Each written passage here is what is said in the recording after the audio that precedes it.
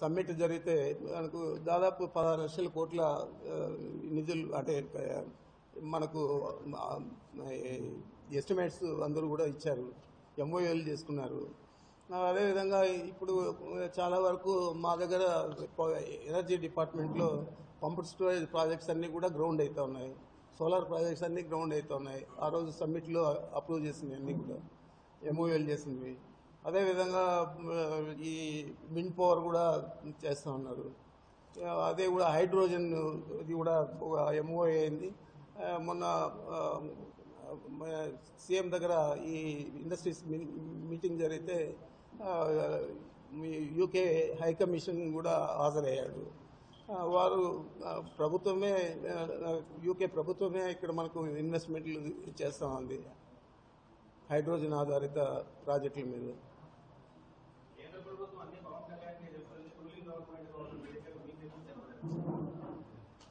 మరి ఆయన చెప్పుకుంటున్నాడు. మేము కళ్యాణ్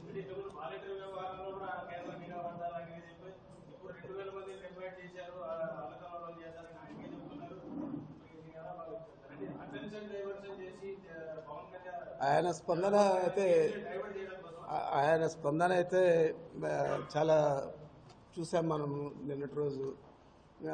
అడ్డుకున్నారు. కస్టడీలోకి తీసుకుంటే రోడ్డు మీద పనుకున్నాడు. మరి అంత ఆరాటం వాళ్ళ సొంత కుమారుడు లోకేష్ దగ్గర కూడా కనపడలేదు. మరి అంతగా అది నటన లేకపోతే నిజంగానే ఆవేశపూర్తిగా చేశాడు అనేది ప్రజలే గుర్తించాలి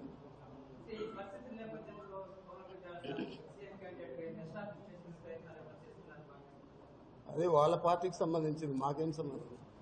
మనకేం సంబంధం?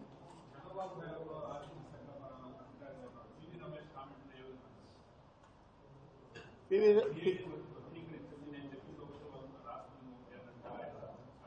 ఆ ఫైల్ ఉంది. కోర్టులో నిన్న సబ్మిట్ చేశారు ఫైల్. ఆయన ఏం రాశాడు అని? ఆయన రాసిందే ఆడిచ్చారు తప్ప అది ఫోర్జరీ అని చెప్పమని చెప్పండి. ఫోర్జరీ అని చెప్పమని చెప్పండి. ఇవ్వకూడదు ఈ నిధులు ఇవ్వకూడదు.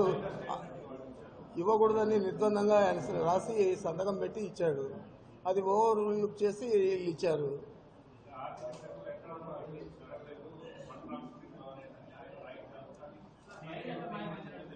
ఆయన చెప్పేది అదే కదా చెప్పేది. ఫండ్ ట్రాన్స్ఫర్ కరెక్ట్గానే జరిగింది. ఏది ఈ దీనికి పోయింది. స్కిల్ డెవలప్మెంట్ కార్పొరేషన్ ఏర్పాటు చేస్తే దానికి. ఆ కార్పొరేషన్ ఎట్లా ఏర్పాటు చేశారు? మీరు ఏం పేరుతో క్యాబినెట్లో అప్రూవల్ తీసుకున్నారు? ఆ తర్వాత ఏం పేరుతో మీరు ఏర్పాటు చేశారు? మీరు దానికి ట్రాన్స్ఫర్ చేసుకున్నారు. మా దగ్గర అవినీతి జరగలేదు. నా దగ్గర రెండు వేల కోట్లు అనుకో రెండు వేల కోట్లు నేను ట్రాన్స్ఫర్ చేస్తానని చెప్తాడు. ఆయన చెప్పేది కరెక్టే. కానీ నేను ఫైల్లో ఏం రాసావు నువ్వు? ఫైల్ ఇవ్వకూడదని రాసావు. అదే ఓవర్లుక్ చేసి ఇచ్చారు. అది కోర్టు పరిశీలనలోనే ఉంది కదా.